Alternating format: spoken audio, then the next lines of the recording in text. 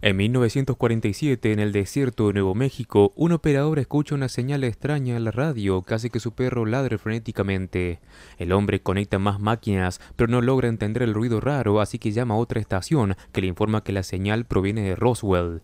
Con el perro y la radio, el operador se dirige hacia la fuente del sonido y ve humo y una luz a lo lejos. De repente, su camión pierde potencia y el perro salta ladrando. El operador lo sigue y encuentra un área en llamas con algo extraño en el centro. En ese momento escucha un ruido y entra en pánico al mirar una luz muy brillante. En el 2003, en la Antártida, un grupo de científicos descubre un objeto extraño enterrado a 5 metros bajo el hielo. Sin saber qué hacer con él, lo envía a una estación de investigación de la NASA. Mientras tanto, en la Universidad de California, el criptólogo Julián intenta dar su clase, pero un estudiante coquetea con él. Como él la ignora, ella le envía un mensaje provocativo, pero él cierra la computadora.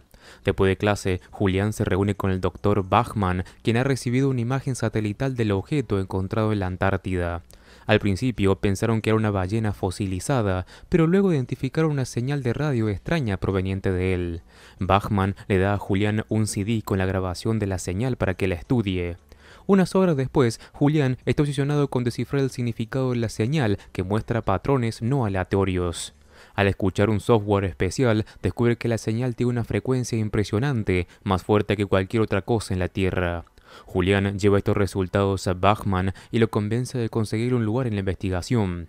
Mientras tanto, en un laboratorio de las Islas Malvinas, dos científicos también detectan la señal de radio y al no poder descifrarla, le envía a un observatorio en Arizona, donde otros científicos notan que la señal ha sido amplificada y la envían entonces a la NASA. Días después, Julián llega a la Antártida en un avión que sacude violentamente por una tormenta.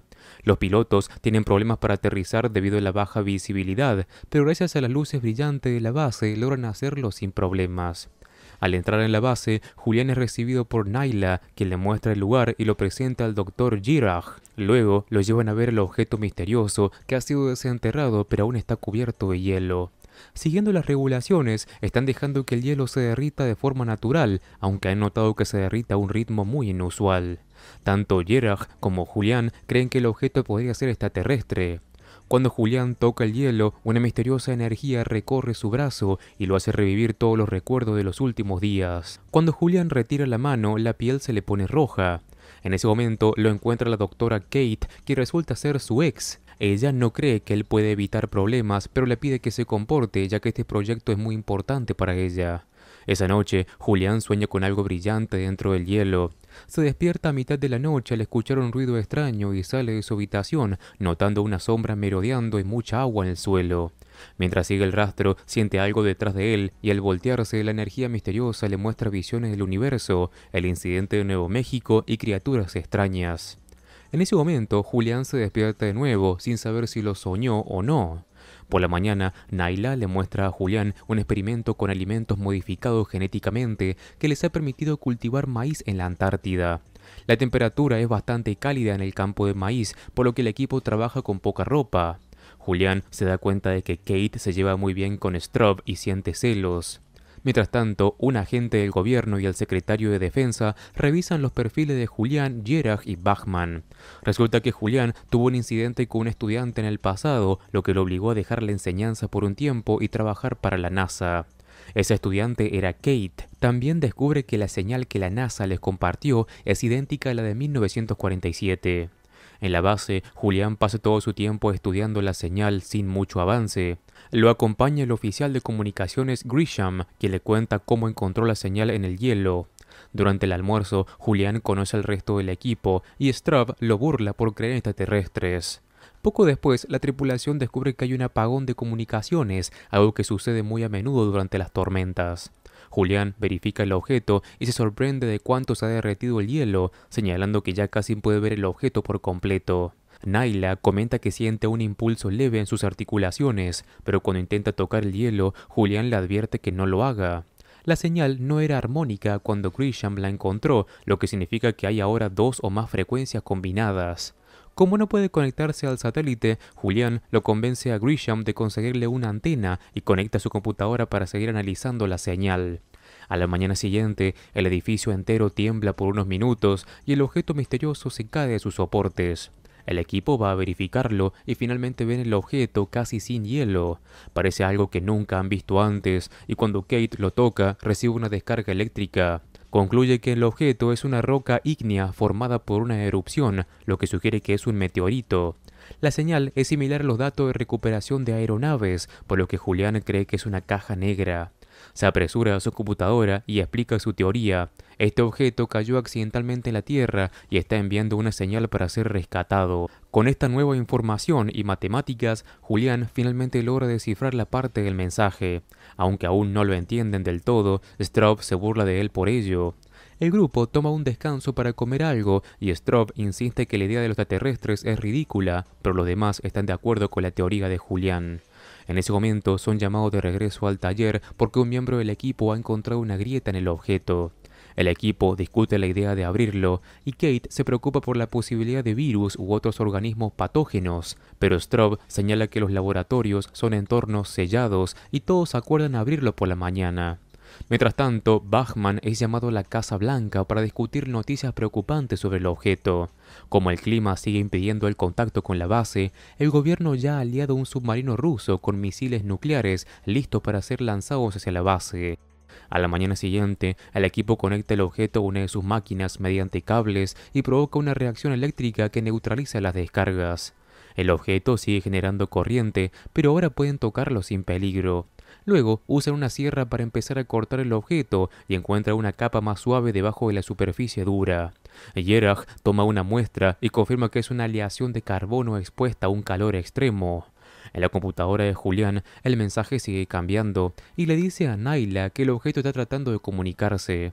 Cuando Naila comenta que es como un videojuego Mind Maze, a Julián se le ocurre una idea sobre cómo abordar el mensaje.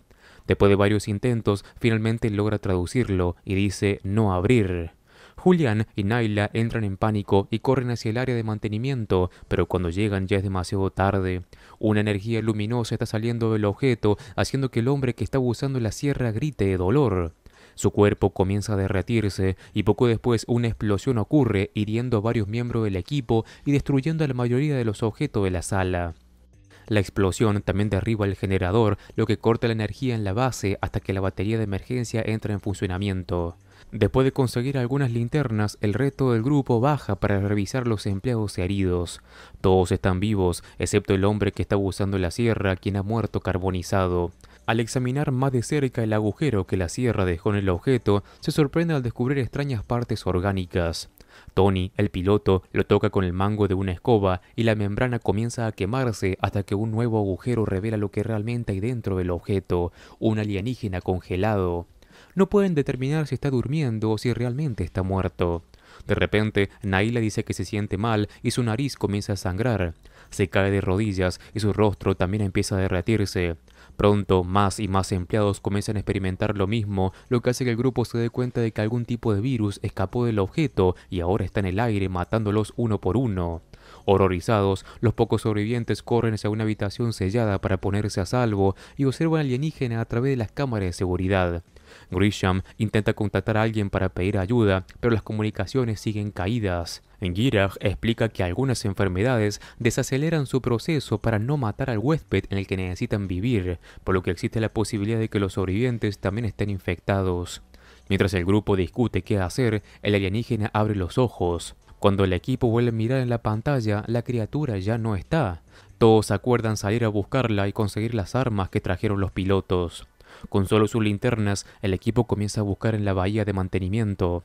Strobe se asusta cuando siente algo a sus espaldas, pero solo es Kate. Grisham también está buscando, sin darse cuenta de que algo lo observa desde lejos. La presencia se aleja cuando Grisham se da vuelta con su linterna. Luego, la presencia comienza a seguir a Tony, quien grita al ver algo moverse en las sombras. Mientras Julian intenta trepar por una caja para llegar al siguiente nivel de la base, Kate apaga la energía en las habitaciones que no están usando y Julian cae. Se recupera rápidamente y comienza a seguir un extraño sonido hasta que finalmente encuentra al alienígena que parece asustado. Julián deja su linterna en el suelo mientras usa palabras suaves, intentando demostrar que es amigable. El alienígena se acerca lentamente y coloca su garra cerca de la linterna, absorbiendo su energía hasta que se apaga. Luego, el alienígena se aproxima a Julián y cuidadosamente le agarra la cabeza con ambas manos, compartiendo su energía. Cuando el alienígena abre los ojos, Julián comienza a tener hermosas visiones del resto del universo. En ese momento, los demás aparecen y Straub le dice a Tony que dispare su arma. La bala impacta al alienígena y de la herida resultante sale un fuerte rayo de energía que derriba a Tony y Grisham cuando intentan acercarse. Una vez que toda la energía ha sido expulsada, el alienígena cae y muere, provocando que su cuerpo se desintegre hasta desaparecer por completo.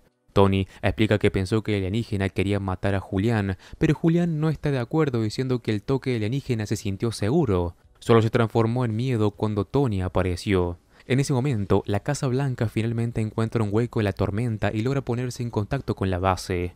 Bachman explica que saben sobre el alienígena y la infección, así que Julián les advierte que esta enfermedad no ha salido de la base. Luego, Bachman también les cuenta sobre el incidente en Nuevo México y el patógeno mortal al que los alienígenas son inmunes. Estas criaturas se comunican entre sí a través de la telepatía y ya han matado a todo lo que había en Marte. Cuando Julián anuncia que el alienígena está muerto, el secretario de defensa decide que la única opción que tienen para deshacerse del virus es volar la base. Quiere que Bachman le mienta a los tripulantes y le diga que la ayuda está en camino, pero Bachman se niega y solo le dice un submarino ruso está en camino. Julián lee entre líneas y pregunta cuántas horas le quedan, a lo que Bachman responde tres. Después de que termine la conversación, Straub entra en pánico y dice que quiere irse del avión, incluso si la tormenta es mala. Julián le recuerda que están infectados, lo que irse significa llevar el virus al mundo exterior, pero Straub piensa que si realmente estuvieran infectados ya estarían muertos. Con el submarino acercándose, los científicos realizan algunas pruebas de sangre para confirmar que no están infectados, aunque Julián advierte que este nuevo virus podría ser tan diminuto que se está escondiendo en las proteínas. Straub interpreta esto como una señal de que deben irse y Tony lo apoya, pero los demás no están de acuerdo. La falta de respaldo de Kate enfurece a Straub, quien le insulta e intenta atacarla, pero Julián reacciona más rápido y lo derriba de un golpe. Sospechando que Straub y Tony intentarán escapar de todos modos, el grupo les quita el arma y comienza a cambiar las contraseñas de las cerraduras. En el submarino ruso se preparan para lanzar los misiles nucleares en 18 minutos.